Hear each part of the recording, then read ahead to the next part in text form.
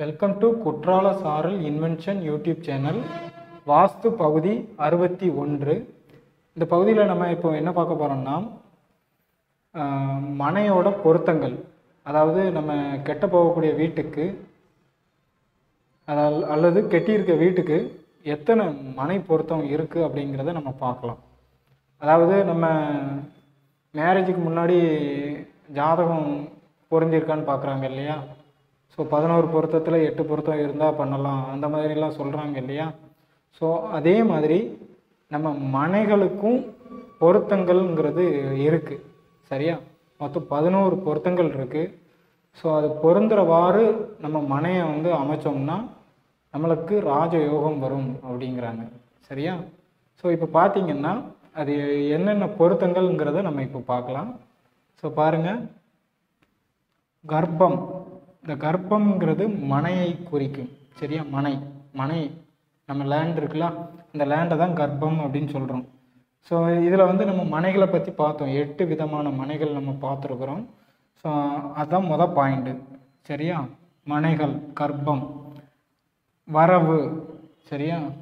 நம்ம வீட்டிற்கு வரக்கூடிய வரவு. மறுபடியும் செலவு. ஸோ இந்த ரெண்டு பாயிண்ட்டை நம்ம கவனமாக பார்த்துக்கிடணும் பொருத்தங்களில். ஸோ வரவை விட செலவு வந்து கம்மியாக தான் இருக்கணும். சரியா?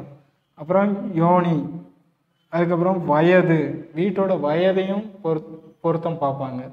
எவ்வளோ வயது அதில் இருக்கும்? நம்ம வீட்டோட வயது அப்படின்ட்டு. வீட்டுக்கு ராசி பொருத்தம் பார்ப்பாங்க. இனம் பார்ப்பாங்க. அங்கிதம்ங்கிறத பார்ப்பாங்க. ஒன்பதாவது நட்சத்திரம் பார்ப்பாங்க. பத்தாவது திதி பதினோராவது வாரம். சரியா? இந்த பதினோரு பொருத்தமும் பொருந்துற மாதிரி நம்ம வீட்டு மனையை அமைச்சோம்னா நம்ம வீடு வந்து செல்வ செழிப்போடு ராஜ பலத்தோடு அமையும் அப்படின்னு நம்ம முன்னோர்கள் சொல்கிறாங்க ஸோ இந்த பதினோரு பொருத்தத்தையும் எப்படி நம்ம பொருத்தி பார்க்கலாம் அப்படிங்கிறத நம்ம ஒவ்வொரு எபிசோட்லேயும் நம்ம பின்வரும் எபிசோடுகளில் நான் சொல்லி கொடுக்குறேன். இப்போ கற்பங்கிறது எந்த அளவில் இருந்தால் நம்ம வீட்டுக்கு பொருத்தமாக இருக்கும்? அதே மாதிரி வரவு எப்படி நம்ம எந்த அளவில் நம்ம வீடு அமைச்சோம்னா அந்த வரவு எல்லாம் சரியாக வரும் அப்படிங்கிறத பின்வரும் எபிசோடுகளில் நம்ம பார்ப்போம். ஓகேவா? ஸோ இப்போ நம்ம இந்த எபிசோடில் என்ன பார்த்துருக்கோம்?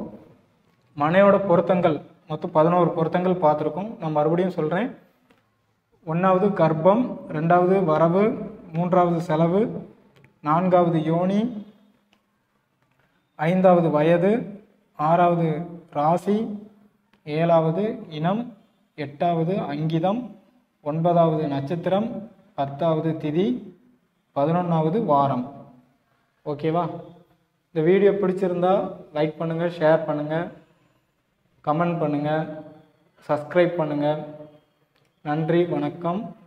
வாழ்க வளமுடன்.